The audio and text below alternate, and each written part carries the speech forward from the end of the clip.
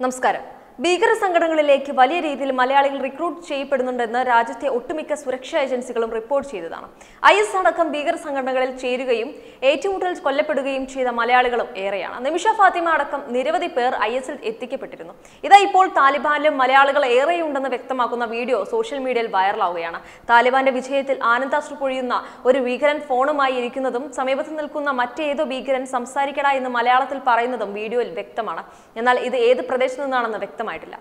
അധികാരം പിടിച്ചതിന് പിന്നാലെ അഫ്ഗാനിൽ വിവിധ ജയിലുകളിൽ നിന്ന് താലിബാൻ മോചിപ്പിച്ച അയ്യായിരത്തോളം പേരിൽ ഐ എസിൽ ചേരാനായി ഇന്ത്യ വിട്ട എട്ട് മലയാളികളും ഉണ്ടെന്ന് ഇന്റലിജൻസിന് വിവരം ലഭിച്ചു. കബൂളിലെ Badam Bagh Pul e Charkhi എന്നിവിടങ്ങളിൽ ജയിലിലുണ്ടായിരുന്ന തടവുകാരെയാണ് താലിബാൻ മോചിപ്പിച്ചത്. മോചിതരായവരിൽ ഐ എസ് അൽഖയ്ദ തീവ്രവാദികളാണ് ഇതിൽ ഏറിയ പങ്കും. ആയിരത്തോളം പേരിൽ നിരവധി മലയാളികളും ഉണ്ടെന്ന് സൂചനയാണ് ഇവരാകാം താലിബാനൊപ്പം ചേർന്നതെന്നാണ് പറയപ്പെടുന്നത്. സംസാരിക്കട്ടെ എന്ന് മലയാളത്തിൽ തീവ്രവാദികൾ ഒരാൾ പറയുന്നതായാണ് വീഡിയോയിൽ അവ്യക്തമായി കേൾക്കാനാവുന്നത്. ദൃശ്യമനുസരിച്ച് ആ താലിബാൻ കൂട്ടത്തിൽ രണ്ട് മലയാളി തീവ്രവാദികളുണ്ടെന്നത് വ്യക്തമാണെന്നാണ് തരൂർ ട്വീറ്റ് ചെയ്തത്.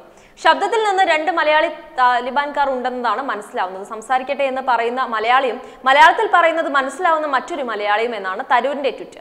റമീസ് എന്ന ട്വിറ്റർ അക്കൗണ്ടിൽ നിന്ന് ഷെയർ ചെയ്ത വീഡിയോയാണ് തരൂർ വീണ്ടും ഷെയർ ചെയ്തത്.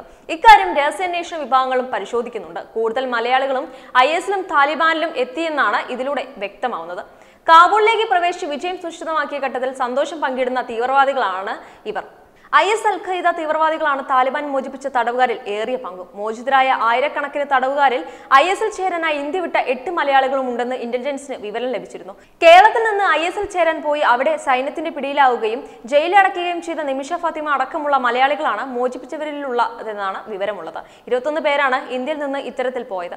ഇവർ മറ്റേതെങ്കിലും രാജ്യത്തിലൂടെ ഇന്ത്യയിലേക്ക് തിരിച്ചു വന്നേക്കുമെന്നാണ് ഇന്റലിജൻസ് കരുതുന്നത്. അതിനാൽ കനത്ത ജാഗ്രതയിലായിരിക്കും അതിർത്തികളിലും തുറമുഖങ്ങളിലും ഉണ്ടാവുക. ഭീകര സംഘടനയായ ഐ എസിൽ ചേരാൻ രണ്ടായിരത്തി പതിനാറിലാണ് ഭർത്താവ് പാലക്കാട് സ്വദേശി ബെക്സിനോടൊപ്പം നിമിഷ നാടുവിട്ടത്. നിമിഷ അടക്കമുള്ള ഇന്ത്യക്കാരെ തിരിച്ചയക്കാൻ ഖനി ഭരണത്തിലുണ്ടായിരുന്ന കാലത്ത് അഫ്ഗാനിസ്ഥാൻ തയ്യാറായിരുന്നു. എന്നാൽ രാജ്യസുരക്ഷ കണക്കിലെടുത്ത് ഇവരെ തിരികെ കൊണ്ടുവരേണ്ടതെന്ന നിലപാടാണ് ഇന്ത്യ സ്വീകരിച്ചത്.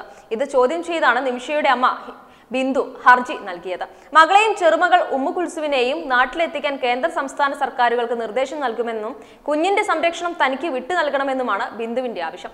നിലവിലെ സാഹചര്യത്തിൽ നിമിഷയെ നാട്ടിലെത്തിക്കാൻ സർക്കാർ തയ്യാറാകണം. അഫ്ഗാനിൽ കുടുങ്ങിപ്പോയ ഇന്ത്യക്കാരെ വിമാനമയച്ച് നാട്ടിലെത്തിക്കുന്നുണ്ടല്ലോ.